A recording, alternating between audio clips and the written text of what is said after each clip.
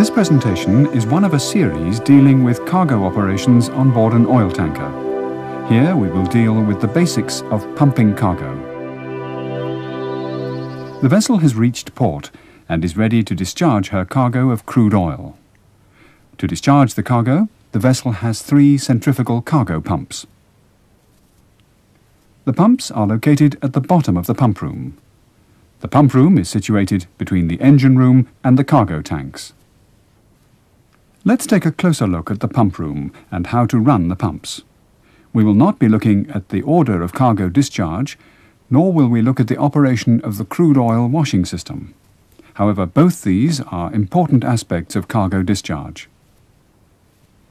Each cargo pump has a capacity of 4,000 cubic meters an hour. In front of the pump is a mud box with a strainer to protect the pump from solids. There is a riser to the deck line with a non-return valve and a discharge valve. In slow motion, this is what happens. When the pump is running, the so-called impeller is driven at high speed, showering liquid through the pump. The liquid is entering the rotating impeller through the eye in the middle. The impeller vanes force the liquid to the periphery of the pump. Velocity is converted to pressure in the casing of the pump. Let's start with an empty shore tank an empty line, and a ship's tank filled with 20 metres of fresh water. Let's imagine the pump as a closed valve. Note the different heights marked. In this example, fresh water is shown to simplify the calculations, and we'll be using the metric system. There are manometers at the suction side and the pressure side of the pump. There is also a manometer where the vessel is connected to the shore at the ship's manifold. We are now filling the lines with water. The manometer at the suction side reads 2 kilograms per square centimetre, at the pressure side 6 kilograms per square centimetre, and the manifold manometer 3.5 kilograms per square centimetre. The situation looks like this. There is one column of liquid 20 metres high, standing on the suction side, called the suction head, and another column, 60 metres high, standing on the pressure side of the pump, called the discharge head. The difference, 40 metres, is the total head. To pump water to the shore tank, the pump must create a head bigger than 40 metres. An additional 3 metres of water is filled into the shore tank. You should note that the pressure at the pressure side of the pump rises by 0.3 kilograms per square centimetre. The pressure has nothing to do with the volume of the pipe or the tank. Only the difference in height counts. There is no change of the suction head. Total head is now 43 metres. This is the static situation. Now let's run the pump. We will use this symbol for the energy added to the system by the pump. The smaller symbols show the resistance in pipes and valves. This is the dynamic situation. Watch the changed readings of the manometers as the pump adds energy to make the water flow. Let's say 5.5 kilograms per square centimetre is added by the pump. In theory, the manometers on the pressure side should show 5.5 kilograms per square centimetre more. But in practice, they don't. This is because the resistance results in a pressure drop along the line. Without resistance, the manometer at the manifold would read 3.8 plus 5.5, giving 9.3 kilograms per square centimetre. But the resistance eats 0.2. So the manometer reads 9.1. There is a pressure drop also on the suction side of the pump. So the manometer now reads less than 2 kilograms per square centimetre, 1.8 in this case. Let's go back to the running pump. Now imagine a column, of 18 metres of liquid standing on the suction side and a column of 118 metres standing on the pressure side. The difference between the two manometers, 10 kilograms per square centimetre, when converted into a column of water, is 100 metres, so the head is 100 metres. Always calculate the head from the difference between the pressure side and the suction side. But remember, if the suction side manometer shows below zero, you have to add the two readings to get the head. This is the capacity curve of our pumps, the so-called HQ curve. H stands for head and Q for quantity. There are a few capacity curves drawn for different speeds. Here is the curve for 625 revolutions per minute, and here is for full speed, 1250 revolutions.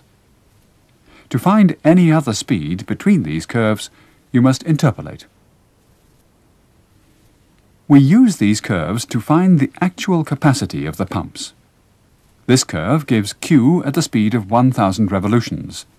If we run the pump at 1000 revolutions, we must be somewhere on this curve.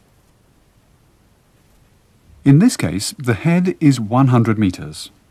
A horizontal line from 100 metres and a vertical line crossing the curve down to the Q scale shows that this pump gives approximately 2,200 cubic metres per hour.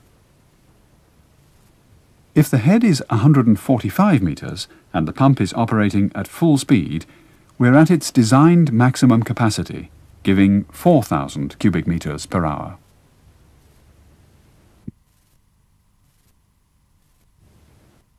When you discharge to shore, the situation is not that clear. That is why it is so important to understand the readings of the different manometers. By carefully watching what happens in your own vessel, you will be in control. You know the speed of the pumps, and you know the head. The HQ curves will give you the capacity at any given time. Of course, you should also take ullages every hour to check the discharge. Now we're pumping oil instead of water, but the principle is the same. The specific gravity of the oil is approximately 0.9. Here, the difference between pressure and suction side is 11 kilograms per square centimetre. To find the column of liquid, divide by 0.9 and multiply by 10. So the head is 122 metres. The HQ curves will tell you the quantity being pumped. Before you start a pump, it should be carefully filled with liquid and ventilated. Make sure that all valves between the tank and the pump are open. Check the suction side manometer as well as the manometer on the pressure side. They should show approximately the same reading. This is the time to do a final check on the accuracy of your instruments. Since you know the columns of oil in the tanks, you can calculate the pressures the manometers are likely to show. Check that all valves at the pressure side are open except the discharge valve. To protect against pollution, don't forget to check frequently the integrity of the sea chest valves. A centrifugal pump should always be started against a closed discharge valve. Never forget this. And don't run the pump for more than 30 seconds against a closed discharge valve. Slowly increase the speed of the pump. Watch the manometers. When you have a difference that gives you a head of approximately 60 metres, crack open the discharge valve and speed up the pump a bit. Open the valve gradually and speed the pump in such a way that the pressure is rising, not dropping. Always run the pumps with fully open discharge valves. Try to reach full speed. However, in case of very low back pressure, you may be forced to throttle the flow with the discharge valves so the pumps don't run at overcapacity. If the head is 145 metres, the pump is giving its maximum capacity, 4,000 cubic metres per hour. If the head is more, the pump gives less. If the head is less, the pump gives more. You should not run pumps over their nominal maximum capacity. It is possible to reach the pump's maximum capacity at a lower speed rather than full speed. It depends on the back pressure. Here the head is 113 metres and the speed 1125 revolutions. You will consume less bunker if you can run the pump at slower speed and still discharge at full rate. So do this whenever possible. When you start the pumps, you should really be on your toes. Have people watch out for leaks in the pump room and on deck. Check the pumps for vibrations, leaks and abnormal sounds. If something should happen, or if you think something is going wrong, don't hesitate to reduce speed or stop the pumps. If you speed up a pump and find you've forgotten to open the tank, stop the pump, then fill the pump with liquid. Then start the pump again. Just opening to the tank will most likely totally wreck a speeding pump. The man at the manifold has reported a flow of cargo. By now the discharge valve is fully open. Now take the pump up to 900 revolutions. Then start the next cargo pump in the same manner. The pressure at the manifold increases as the second pump is taken up to 900 revolutions. Start the third cargo pump in the same manner you are phasing in the pumps to run in parallel. Take your time doing this. It takes at least half an hour to bring the pumps up to maximum capacity. The pumps are gradually taken up, if possible, to reach their full speed of 1,250 revolutions. Watch the head and increase the speed until the pumps reach maximum capacity or until the manometer at the manifold shows the agreed maximum allowed pressure. In this case, you have a restriction given by the installation of 10.5 kilograms per square centimetre. All three pumps should run at approximately the same speed and at about the same pressures. With all three pumps running at 1,125 revolutions, the pressure at the manifold reaches the maximum allowed. The pressure side manometers read 12.7 kilograms per square centimetre, and the suction side manometers read 1.7. The difference is 11. So for crude oil with a specific gravity of approximately 0.9, the head is 122 metres. Each pump is giving approximately 3,100 cubic metres per hour.